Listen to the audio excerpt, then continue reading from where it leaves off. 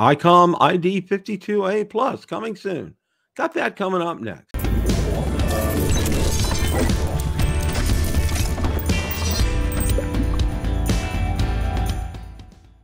Bill from Ham Radio Basics here.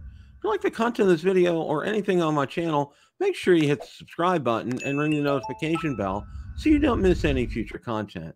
With that, let's begin. I just found out today that ICOM is coming out with the ICOM ID 52A Plus. So let's go ahead and check out what we know about that. This morning, our friend Ray Novak had posted pictures of an ICOM ID 52A Plus. So I thought I'd like to go ahead and share those with you and some information that I found out. Now, it looks like it comes in this nice 60th anniversary edition box. And there it is, open. And that is what you get in the box. It's like battery, antenna, uh, USB-C charging port, a uh, clip for your belt right there. And there it is powered up. Now let's go ahead and take a look at the specifications of the ICOM ID52A Plus out on ICOM's website. Now let's go ahead and take a look at the specifications for the ICOM ID52A Plus, specifically what is new and updated on this radio. The popular ID52A D-Star transceiver just gets more powerful.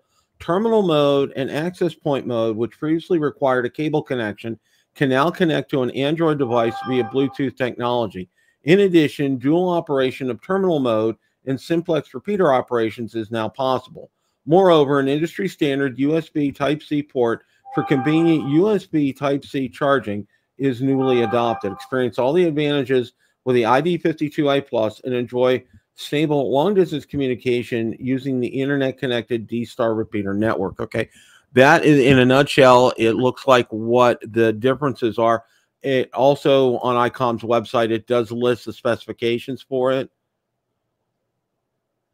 And my guess is if you were to go ahead and take a look at this, these specifications probably wouldn't differ much from the ID52A as it is. Uh, here is a shows the optional accessories for the 52A plus, and also here support and download and it looks like there are manuals available for the 52A Plus right now.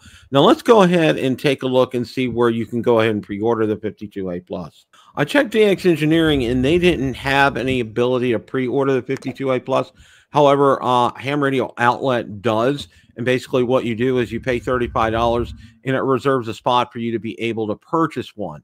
And if you choose not to purchase one, that $35 is credited back towards a future purchase with Ham Radio Outlet. Question of the day What did you think of the ICOM ID52A Plus? Let me know in the comments section below. Thanks so much for watching. And remember, it's a great day to make a QSO. Seven threes, everyone.